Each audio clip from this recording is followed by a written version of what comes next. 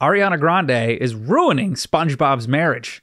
And I, I can't believe that's not an exaggeration. If you have no idea what's going on in the world of pop drama right now, congratulations, you're a, you're a functioning adult. But if you have TikTok installed on your phone that you sniff for even a few seconds every day, then doubtlessly you've caught wind of the Ariana Grande situation. No, not the time she licked donuts. No, not the time she talked about Pete Davidson's wee wee in a song. And no, not the time she made Jennette McCurdy act alongside a wooden box. Ms. Grande is known for a lot of things, usually music, but most recently she's been making waves in regards to her apparent penchant for slaying marriages. Back in 2014, she dated fellow music artist Big Sean, minutes after he slashed his relationship with Glee star Naya Rivera. Then there was Miss Grande's arguably most well-known relationship with SNL starlet Pete Davidson, America's Little Sweetheart. Minutes after he slashed his own relationship with fellow actress Cazzie David, who first dashed onto the scene in the hit Disney Channel sitcom Hannah Montana,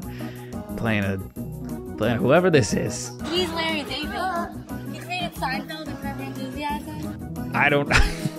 I don't have Disney Plus to go confirm who this character is. Apparently, her name is also Cassie, according to the IMDb page. Which, if I could just tangent for a second and ask, what the flying flip is going on with Mitchell Musso? 90 some episodes of Handmon wasn't enough to sock away for the Roth IRA, I guess.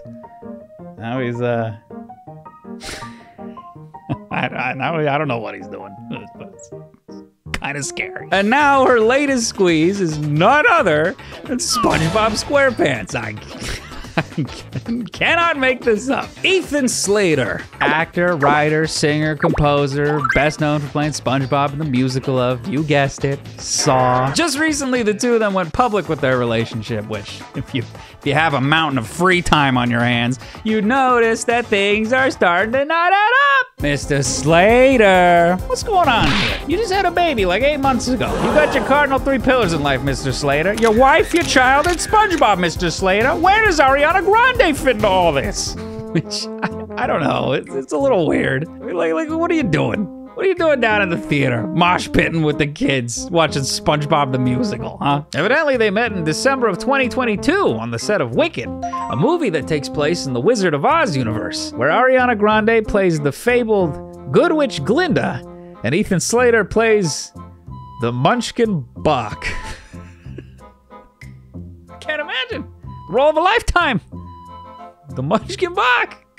the Munchkin Boq. And then three months later, in March of 2023, a paparazzi would tell the Daily Mail that Ariana and Ethan were all over each other at Michelle Yeoh's Oscar party.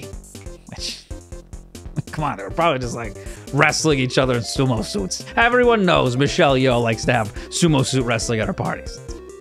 It's kind of weird thing for her. She doesn't really like when people talk about it. And then, four months after that, in July of 2023, a paparazzi tells Page Six that Slater's wife was completely blindsided by his relationship with Grande. It's horrible. They were high school sweethearts. They have a baby. She's a wreck, a source says. This rat of a man threw away a deep rooted relationship that he and her cultivated for over 10 years. All because the self delivering cheese platter made its way over to him? All because the self-delivering cheese platter was marching with the kids at the SpongeBob musical? Now to a normal person, yes, even a normal home wrecker, uh, this level of public shaming would be an undying nightmare. But oh no, this is not a normal person now, is it? This, this is the fabled, this is the fabled donut licker. Just slurp your eyes out.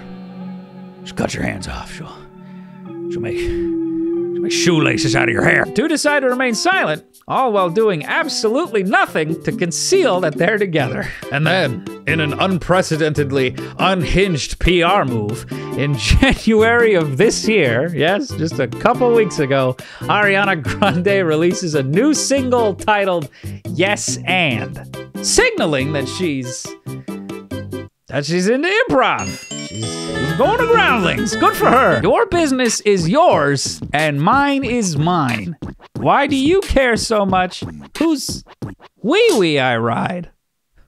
if you read between the lines of these lyrics here, you may infer that this song is her way of responding to all the criticism that's come her way over this whole ordeal. And you know what? At the end of the day, you're right. Like, why, why do I care so much about how you, a celebrity who I will never ever meet ever, destroys your own life and the lives of those around you? What are you doing? Where are you going? Why, why are you backing away? What are you, what are you looking at? What? Oh my gosh, is that her brother? Yep, mm, yeah. Somehow, the biggest twist of this whole thing is the most recent discovery that Ethan Slater bears a striking resemblance to Frankie Grande. Ariana's actual literal brother. It's one of those things where like, yeah, they do have some similarities, but I also like can't help but feel like it's ever so slightly cherry picked. Because well, yes, these two images do make them look like mere clones of each other. But if you took any other two images of them, they'd look nothing alike. But whoops, too late now. TikTok's gotten a hold of it, so so you know it's never going away. It's off into the stratosphere. My balloon of misinformation. Nobody's gonna fact check this. I don't know. I don't know why I care about who's wee wee you Ariana. I, I made this video because I thought it'd be funny. But I, the whole ordeal does feel skeevy, right? Like, how boring does being rich and famous get? Honestly, that celebrities do this sort of thing. You know, you know, struggle for however many years, like towing the line of hard work, hiking the mountain of the grind, only to give up and drop all your equipment when you hit the top? It's disturbing, honestly. But it's whatever. You know, it's it's celebrities. I think what's truly messed up in these situations is is the collateral damage, you know? All the torn away girlfriends or fiancés even. Or Ariana's husband who was who she divorced so she could just do this. And I mean like make no mention of Ethan Slater's child who's gonna grow up and hear tale of his father, a singing squarepants who left his mom the second that he landed the role of the Munchkin Boq. Right? Like, I mean, can't blame him though. I mean, I mean, who wouldn't struggle with an ego after landing the role of the Munchkin Boq? It's awful, it's gross, and, and you shouldn't follow in this weirdo's example. Why do you care? She's right. You shouldn't care or give any sort of thought to her or what she does at all because very little of it clearly gives any value or does any good for anybody other than her own selfishness. So whatever. Get her what she wants. Anyway, that's uh, that's all from me. Sub- subscribe if you want more nonsense from me. Uh, thank you for watching my video. I'll probably make another one of these soon. Not about Ariana. Who knows? Maybe she doesn't know. Maybe she'll write. Maybe she'll Maybe she'll go. Maybe she'll kidnap the kid. I don't know. Uh, that's horrible. That's dark. Did I? Why did I say that? Why is that now? That's on camera. That's out there in the ether. I don't have to put it up there. But, you know. I bet she thought about it. She's unhinged. Dude. I mean, like what? She's unhinged. Whoops. She's unhinged.